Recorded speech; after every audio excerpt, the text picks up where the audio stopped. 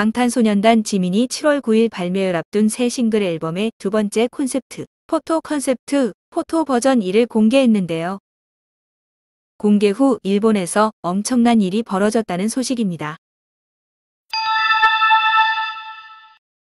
BTS 지민이 공개한 콘셉트 포토는 버터 뮤직비디오에서 등장했던 머그샷 버전으로 지민은 강렬한 쇼컷에 red hair와 반바지 점프수트를 입고 등장해 수많은 팬들의 시선을 사로잡았습니다. 점프수트 주머니에 찔러 넣은 지민의 한 손에는 이름과 생년월일을 그리고 의미 있는 번호가 적힌 판을 들고 있는데요. 이미 공개한 바 있는 이 숫자는 14만 1018으로 방탄소년단의 첫 단독 콘서트 The Red Bullet의 시작일이며 평소 지민에게 가장 소중한 무대와 방탄소년단 아미 팬들과의 소통이 또 한 번 어떤 의미인지를 보여줬습니다. 사진 공개 후 지민은 일본 유명인 검색 상위를 차지하고 We love you 지민이 전 세계에서 trending되었는데요.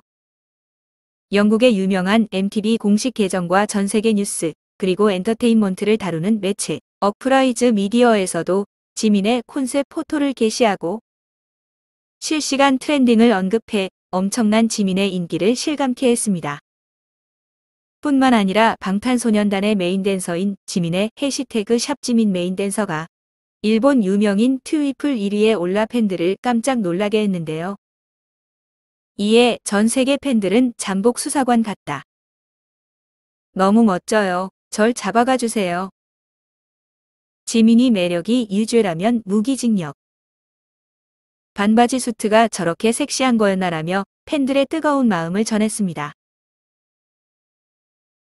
지금까지 카툰 메신저였습니다. 카툰 메신저는 K-팝과 BTS의 긍정적이고 따뜻한 이야기만을 다룹니다. 구독과 좋아요는 사랑입니다. 시청해주셔서 감사합니다.